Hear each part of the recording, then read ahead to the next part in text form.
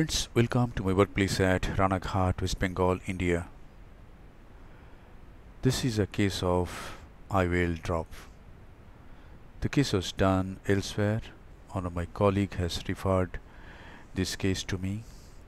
My plan is to remove the intraocular lens that has dropped into the vitreous cavity and place a multi-piece lens in the sulcus because I found that the sulcus can support the multi-piece lens very nicely. So here it is, this is peritomy for about 3 clock hours from 10 o'clock to 1 o'clock and now I'm going to do bipolar wet field cautery so that I can have a nice dissection so that dissection becomes easy. So here is bipolar wet field cautery. Very mild cautery just to remove just the blood vessels and the scleral surface is not charred just and these blood vessels will grow very fast. Within few days new blood vessels will grow and here it is. My plan is to make a tunnel of about 6 millimeter. This is the measurement because I'm going to implant the multipiece lens and remove a lens which is a foldable lens. So it will be very easy if I make incision of 6 millimeter to implant the lens and to remove the lens. So here this is the corneoscleral tunnel. Since the main aim is to introduce the intraocular lens the internal opening need not be larger than the external opening of the tunnel.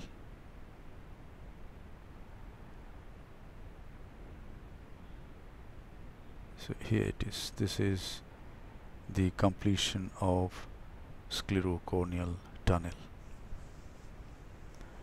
Now this is a small peritomy to raise a conjunctival flap beneath this flap I am going to place the irrigating cannula. This is uh, this flap is in the inferotemporal quadrant of the eye. And now the this is a trocar which is piercing the sclera about 3.25 millimeter away from the limbus about 3 to 3.25 millimeter away from the limbus. And I'm going to place the irrigating cannula onto this trocar. Now this is another trocar in the supratemporal quadrant same 3 millimeter away from the limbus. And this is another trocar the supranasal quadrant 3 millimeter away from the limbus. And now vitrectomy. Light pipe goes in. Antivitrectomy is being done this is we can see the vitreous strands very clearly. This is a 23 gauge vitrectomy cutter.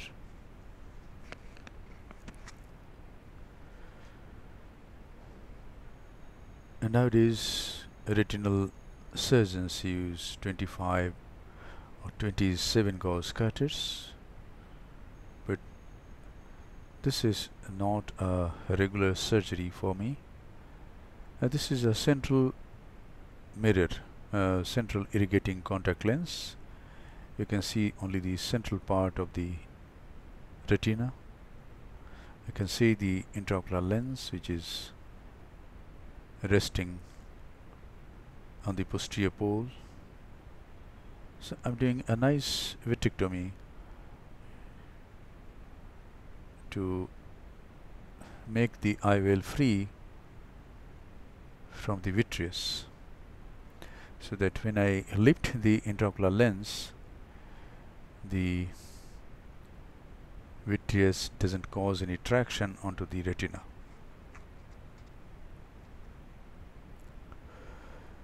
Now my plan is to do some vitrectomy in the anterior chamber because I saw in the slit lamp that there is some vitreous strands which is going to the main wound which is at around 11 o'clock. So here I do some vitrectomy just behind the posterior capsule. And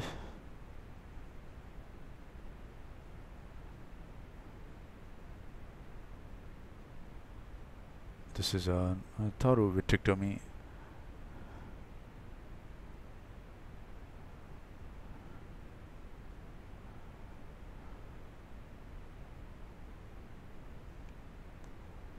and I'm going to come out. And I have asked for triamcinolone acetate so that I can see the vitreous strands in the anterior chamber very nicely. So I'm going to make some side ports. This is a side port at around 10 o'clock. This is another side port at around 3 o'clock. And now I am going to introduce this molecule. This is triamcinolone acetate. This molecule gets attached to the vitreous strands. And the vitreous strands stand out you can see the vitreous strands very clearly. You can see these are the vitreous strands which are which are going to the main wound. So I'm going to use this cutter now to remove these vitreous strands.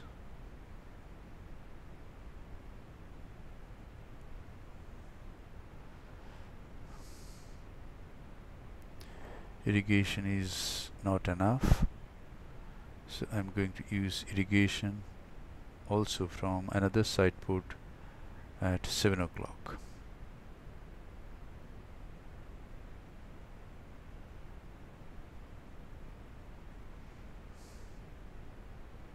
And here it is.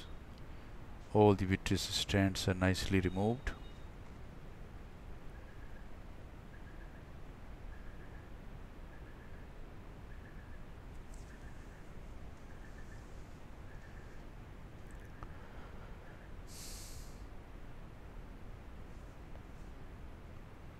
and the pupil has become really small.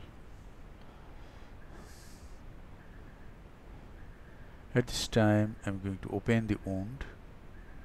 I'm going to open the sclerocorneal tunnel through which I'm going to pull out the intraocular lens. And through the same wound I'm going to implant a multi-piece intraocular lens in the sulcus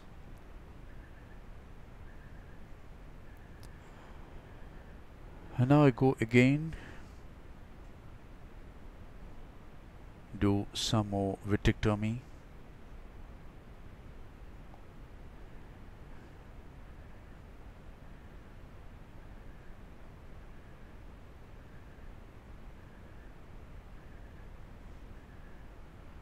And now I go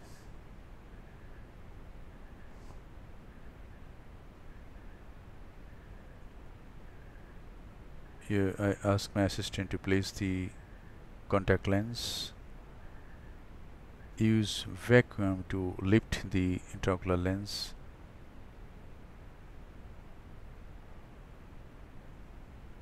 Two times it fell down. The third time I could hold it very firmly and between two instruments I could introduce the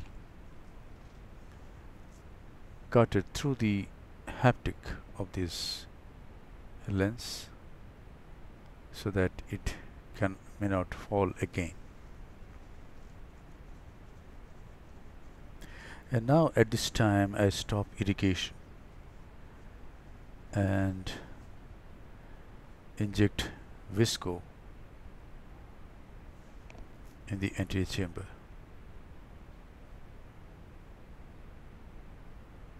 Stop irrigation.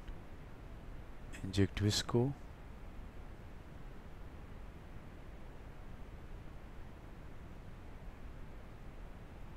And now I use a McPherson's forceps and by the left hand I hold this haptic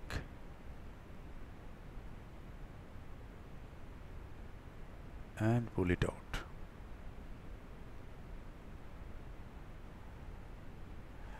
And now I'm going to place three iris hooks through the three side ports. 10 o'clock 7 o'clock and 3 o'clock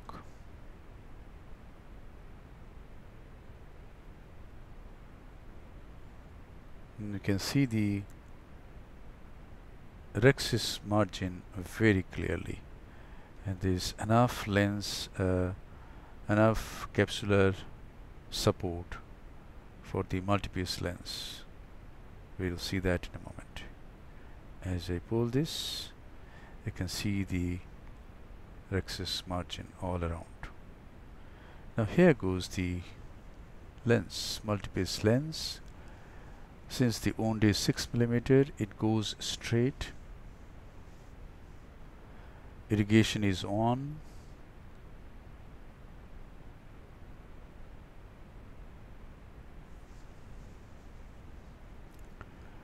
The leading haptic has gone into the sulcus. And now the trailing haptic here I place the trailing haptic also in the sulcus.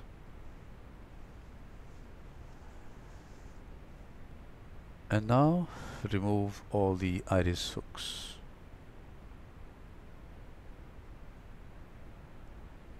This is the hook at 3 o'clock. It is removed.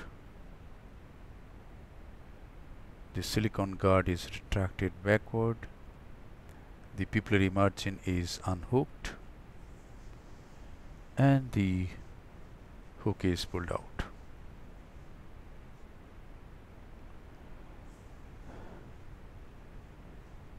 And now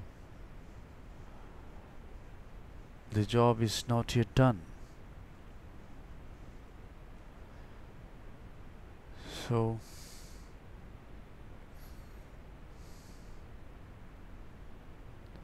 irrigation is on again. And now I'm going to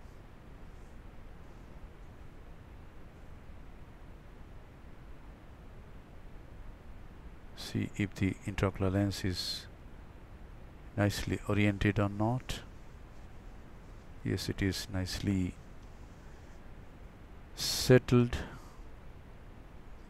Now I remove the trocars and the sclerotomy wounds are closed.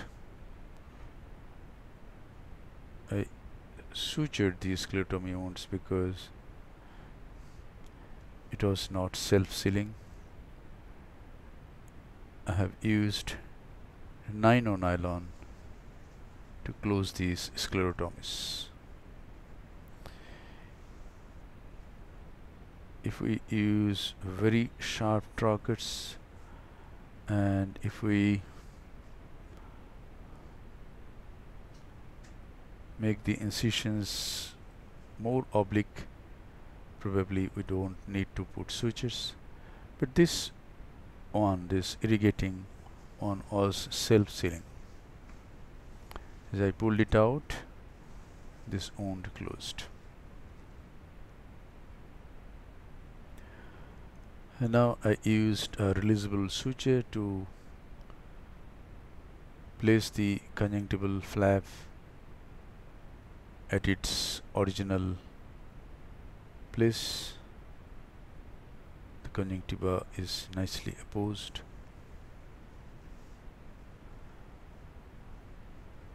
And now I used a shoelace suture to close the main wound the first bite comes through the groove to the posterior lip of the main wound. Then this is another bite. This is one more bite. This portion of the video is three times the uh, two times the normal speed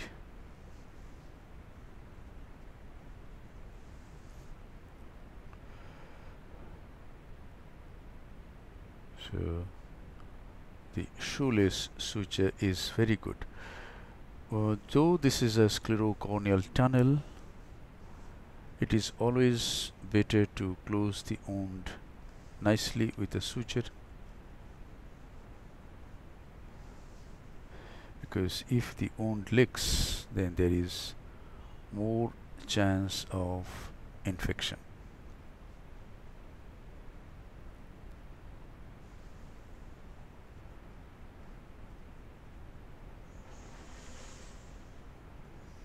and now this is a final lavage of the anterior chamber.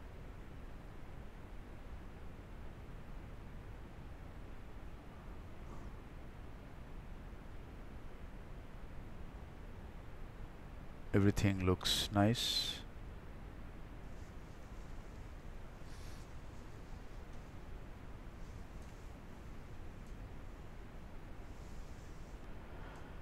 and now I close the main wound.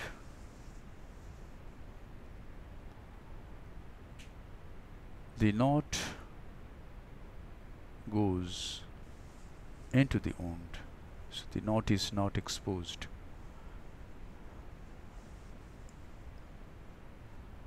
The knot goes in the groove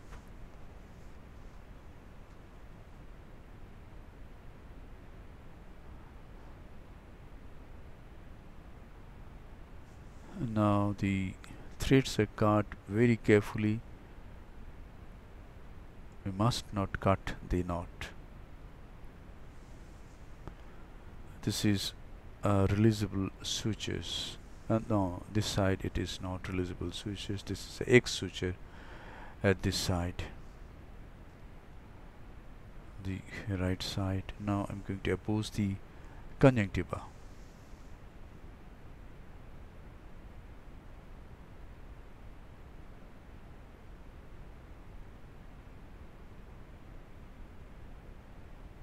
it is done. Now one more suture on the left side of the peritomy left end of the peritomy and this one is going to be a releasable suture